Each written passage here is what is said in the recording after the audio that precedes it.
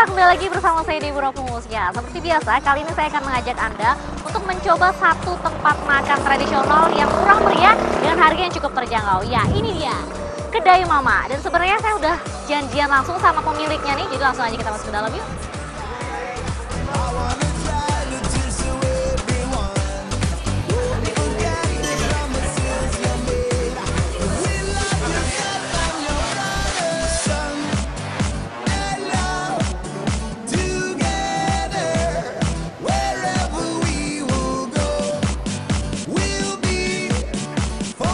Makan suka-suka, bayar suka-suka. Itulah tulisan di spanduk atau banner yang terpampang di depan sebuah rumah makan mungil yang bernama Kedai Mama. Di sini tersaji menu rumahan khas Medan Melayu milik Hafid Mansur.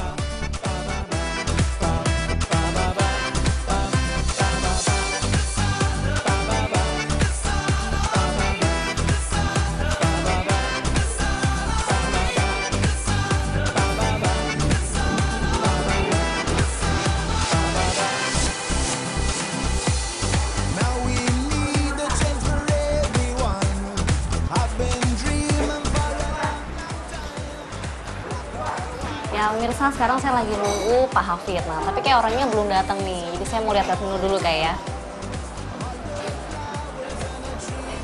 Ah ini dia orang yang saya tunggu-tunggu datang juga. Halo Pak. Iya Ya, duduk Pak halo, sini Pak. Aduh.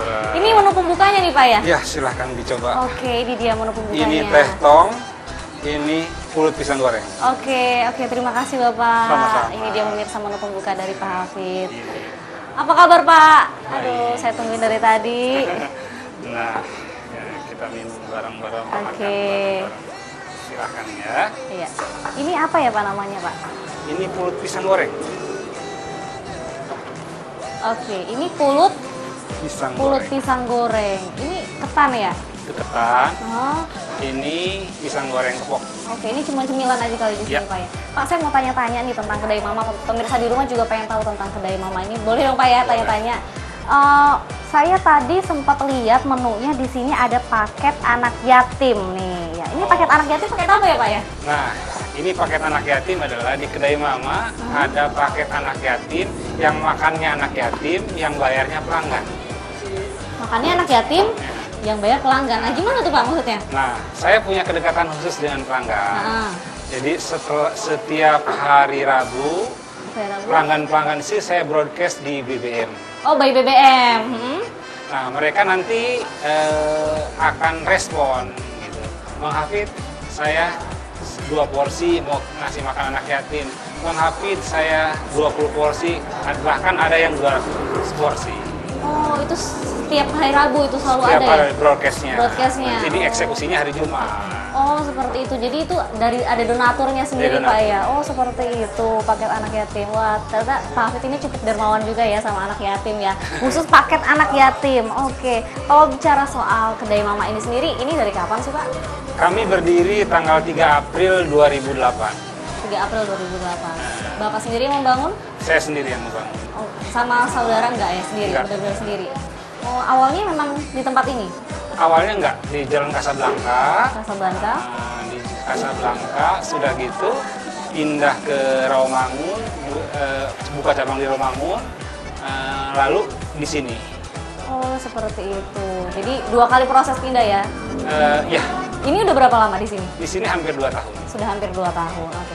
Pak, tadi saya sempat di depan lihat ada promo makan suka-suka, bayar suka-suka. Nah, itu maksudnya apa tuh, Pak? nah itu program kami jadi eh, setiap hari Jumat kalau misalnya kami ingin mengadakan eh, program itu kami keluarkan itu orang makannya suka-suka dia gitu mau makan apa gitu bayarnya juga suka-suka dia suka-suka dia aja mau ngasih ke Mau bayar berapa aja? Nah, karena kasir kami tidak berlaku di sekarang hari. Khusus hari Jumat. Itu jam berapa aja tuh, Pak? dari jam 7 sampai habis. Oh, itu promonya sudah berlaku nih mulai sekarang Sudah ini. sudah berlaku. Nah, tuh pemirsa bagi kalian yang mau coba kedai Mama ini ada promo setiap hari Jumat ya, Pak ya. Makan suka-suka, bayar suka-suka. Tidak tidak hari Jumat kadang-kadang eh, eh, kami aja suka-suka buatnya gitu. Oh, jadi suka-suka Bapak juga bikin Iya. promonya gitu ya? Nah, kenapa sekarang saya buat? Daya beli masyarakat itu lagi rendah dan saya ingin sekali berbagi dengan orang ketika kesulitan itu ya tidaklah kita normal saja kan. Hmm. Jadi kita bikinlah supaya mereka lebih ringan. gitu. Oh, gitu.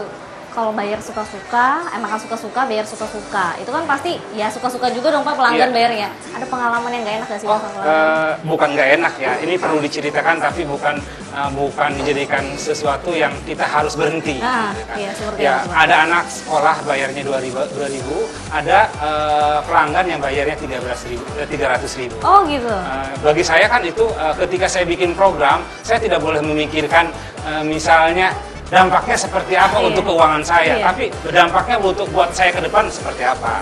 Oke. Alhamdulillah kita lebih eh, lebih maju. Oh. Jadi waktu itu sempat ada eh, yang bayar 3000 itu pesannya banyak tuh Pak. Eh, ya dia anak kecil ya makan-makan eh, nasi lontong pakai rendang, pakai es teh manis, pakai terong Belanda gitu. Oh, jadi ada- Tapi bagi saya oh, udahlah itu kan nah, jadi nanti kan bagi dia adalah nanti akan direkam bahwa dia pernah merasakan makan suka-suka bayar Ah. suka-suka. Jadi memorable juga ya buat dia ya. Tapi kalau untuk secara eh, keuntungan benefit dari kedai mama ini sendiri rugi gak sih Pak sebenarnya? Ya sebenarnya sih nggak rugi ya. Rugi. Kalau mau rugi kami mungkin sudah mati dari enam tahun yang lalu. Iya iya iya benar-benar. Ya, eh, saya saya yakin bahwa eh, kedai mama ke depan lebih besar lagi karena eh, saya juga tidak ingin dong kedai mama ini hanya di uh, Casablanca di Tebet. Tebet gitu. aja ya. Tapi kan nanti kedai mama ada misalnya di eh, Cilandak, Hmm. ada di Pondok Indah, Oke. ada di Wahid Hasim. Oh, itu gitu. target Bapak ke Ya, depan seperti ke itu ya? Jadi saya akan membuat orang bahwa kita itu perlu bersinergi dengan Hmm. orang. Gitu. Tidak perlu misalnya curiga atau apa. Gitu. Sudah rugi kok. Hidup ini kan sudah ada eh, siapa yang ngatur gitu. Semakin kita berbuat jahat, dijahatin sama orang. Oke. Semakin kita berbuat baik, akan dibaikin sama orang. Oke Pak, saya mau coba nih Pak. Saya dari Silakan, tadi mau penasaran Mbak pengen cobain ketan apa tadi pulut pisang, pisang goreng. goreng. Oke, pulut itu nama apa ya Pak ya? Pulut itu eh, ketan. Oh pulut itu ketan. Ketan. Bahasa Medan. Medan kali. Oke, saya cobain nih Pak ya. Silakan kak. Ini ketannya. Ya. Nggak terlalu lengket, gurih Pak. Cobain pisangnya Pak ya. Silakan, silakan.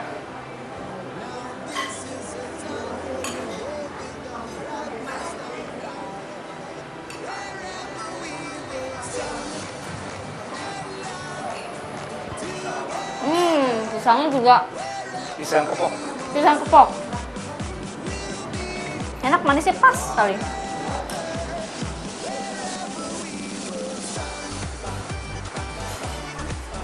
Ya, ini kan menu pembukanya nih Pak nih.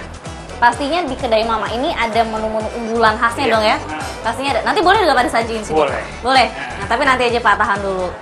Setelah yang satu ini, Pak Hafid akan mencoba menyajikan menu-menu khas dari kedai Mama untuk Anda. Tapi jangan ke mana-mana, tetap di Megapolitan akhir pekan 1.